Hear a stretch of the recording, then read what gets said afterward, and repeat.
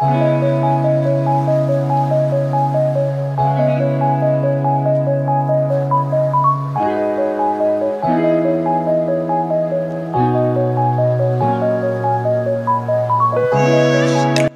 à tous, bienvenue sur palombe.org. Alors cette saison, dans le cadre de la chasse euh, du grand gibier euh, au Mirador, eh euh, j'ai prélevé un, petit mâle hier soir. Hier soir, j'ai eu une dizaine de sangliers qui sont venus au Mirador numéro 1. Et donc, bon, pas question de, tirer les gros, bien évidemment. Hein. On ne tire pas à la lémeneuse parce que ça, c'est elle qui soude le troupeau et qui, euh, permet de, comment d'élever les, petits et de leur donner des habitudes sur le territoire.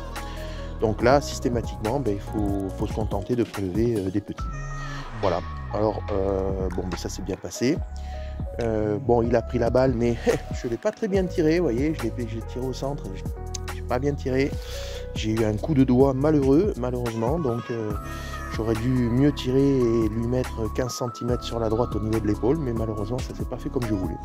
Bon, je tire avec euh, un petit Kiplov Bergara en, 308 euh, Winchester, en calibre 308 Winchester. Bon, euh, j'ai pour habitude d'utiliser petit calibre, que ce soit le 270, que ce soit le 308, 3006 ou parfois le 7RM. Mais bon, dans en fait, il faudrait tirer avec du 9.362. Ce serait, ce serait l'idéal. Mais sur ces, petits sangliers, eh ben, ça ferait du dégât. Donc je préfère, euh, préfère qu'ils prennent la balle, qu'ils fassent 50 mètres, qu'ils tombent, et euh, bon, la venaison est moins, moins abîmée. Voilà. Alors c'est sûr que là, le, le, le Bergara pour la chasse avec un petit point rouge euh, et le système de, chien extérieur, c'est on peut pas faire mieux en termes de, en termes de sécurité. Moi, je suis, je suis fan incontesté. Euh, et, ça fonctionne vraiment, vraiment très très bien. Voilà. Donc maintenant, ben, il n'y a plus qu'à le, à le dépioter et puis, euh, et puis, euh, et puis je vais en faire bénéficier notamment une famille sur Bordeaux qui est en grande difficulté, qui ne mange pas à sa faim. Donc je vais faire ma bonne action. Voilà.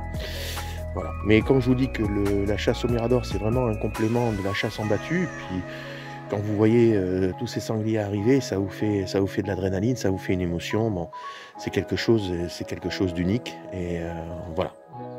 Et toujours le même principe une cible, une balle, et on choisit celui qu'on tire. Voilà. Allez, à très bientôt sur palon.org.